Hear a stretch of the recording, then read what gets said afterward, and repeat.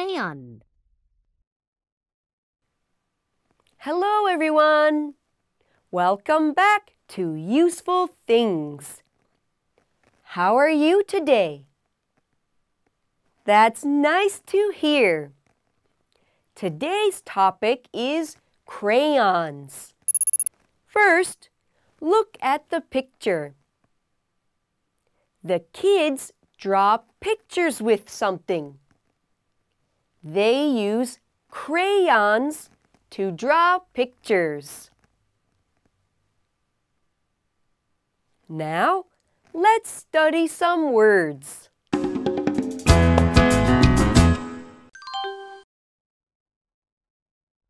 Paper. This is a book. The white part is paper. Someone folds the paper a little. We use paper to make a book. We use paper to write on. What else do we use paper for? Draw.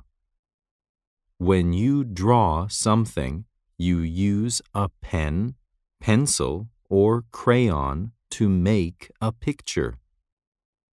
Someone draws a giraffe using a crayon. Fish. This is a fish. It lives in water. You can see fish in a river or sea. Do you have a fish? Does your friend have a fish?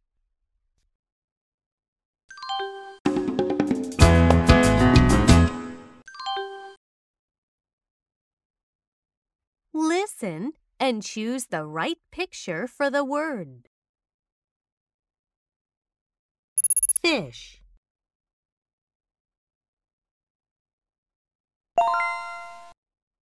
Paper.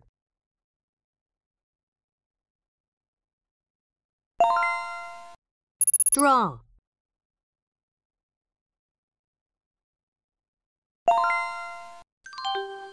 Now, you will read a story. Are you ready?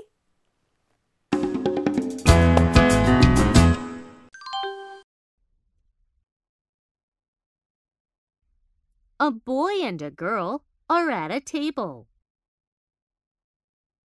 They have paper. They draw pictures on the paper. They use crayons to draw the pictures. The boy draws a fish with a blue crayon. The girl draws an apple with a red crayon. They will use other crayons on the desk too. Do you like drawing with crayons?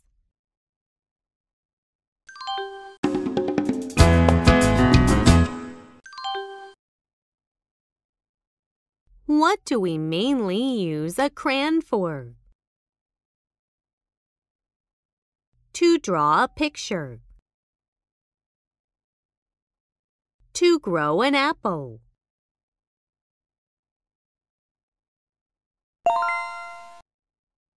What did the boy draw? Apple. Fish.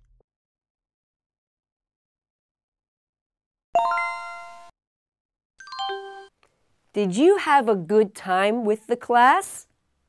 I hope so. See you next time. Goodbye.